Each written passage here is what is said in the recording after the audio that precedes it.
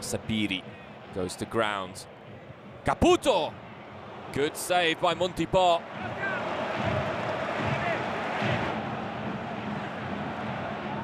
Caputo up against Dawidowicz. Caputo still going. Caputo! That is sensational! What a strike! Francesco Caputo illuminates the Marcantonio Bentegodi with a wonderful goal.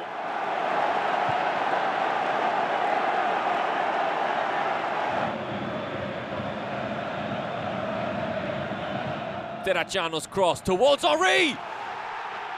Who else but Thomas Henry? That's going to be an Audero own goal. It bounces off the crossbar and onto the goalkeeper's shoulder.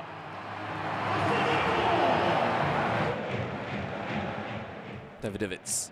Henry flicks it on to Lazovic. Now Lasagna gets the contact. Doig! Josh Doig's first Serie A goal. And Verona, who five minutes ago were trailing 1-0, will now go into half-time leading 2-1.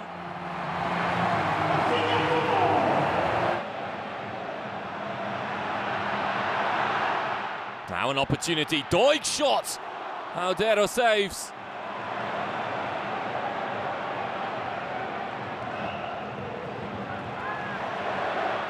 Opportunity here for Lazovic. Lazovic.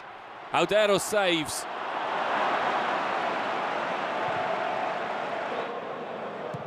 Tameze switches play out to Josh Doig. That's a great first time ball. And it almost caught Audero out. Lazovic with the ball forwards to Veloso. Veloso one on one with Audero. And another save by Emil Audero. It's not over yet. Doig.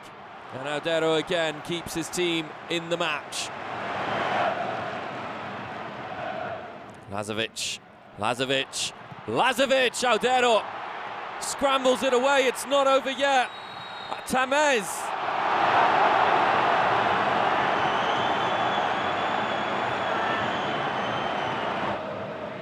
Leris. Gabbiadini. Gabbiadini falls to Caputo! What a chance! Verona do have their first Serie A win of the season. Two on the final score at the Bentegodi. Verona 2, Sampdoria 1.